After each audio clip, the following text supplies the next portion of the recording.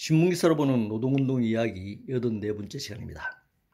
오늘은 1998년 2월 6일자 중앙일보 기사입니다. 노사정 대타협 밤샘 진통 이런 제목과 함께 예, 노사정의 협상하는 예, 사진 장면입니다.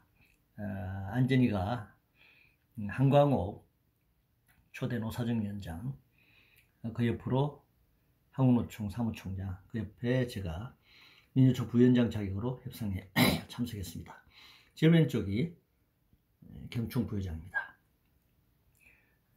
노동계는 교원노조 합법화 문제, 사용자는 고용조정, 막판 빅딜, 뭐 이거 아마 IMF 프로그램 협약 이행과 관련해서 정리해고 도입이 이제 핵심 쟁점이 되고 있습니다. 곳곳 암초, 원점, 종점 왔다 갔다 노조 어, 전임자 임금 문제, 예, 기금 출연 문제, 사측은 반대하지 않는다. 뭐 이런 의견이 나와 있고요. 기업인수 합병 때 정리해고 적용, 노 결국 예, 받아들일 것 같다. 이렇게 지금 예상하는 기사가 나와 있습니다. 예, 제한적 정리해고 어, 피할 수 없을 것, 반대소 현실 인정, 노동계 한발 후퇴 뭐 이런 기사가 나와 있고요.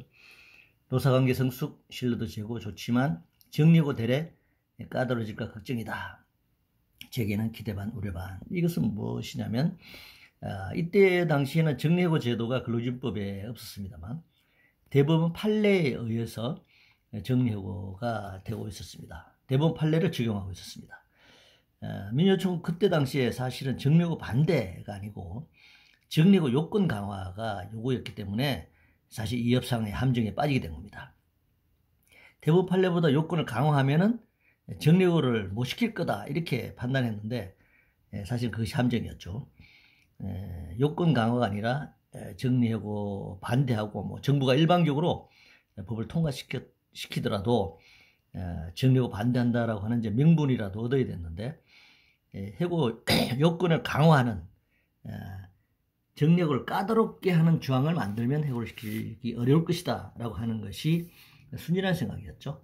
그런 함정에 빠지게 된 것입니다.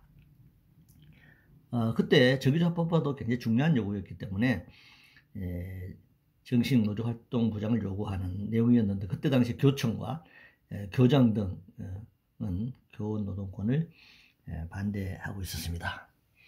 아, 이상으로 신문기사로 보는 노동운동 이야기였던 네 번째 시간 노사정 대타협 아, 협상과 관련된 기사를 중심으로 어, 설명드렸습니다.